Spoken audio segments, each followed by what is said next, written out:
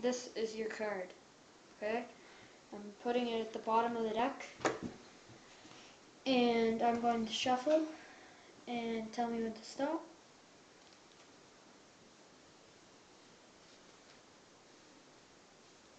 Okay, you say stop right there. Now, this should be your card. And tell me when to put it in the deck. So, you say stop there. Okay, so I put it in right there. And now you go, is that your card? And then they say, no. So you put that off to the side and you go, Okay, let's spread this deck out here. And you go, well, is that your card?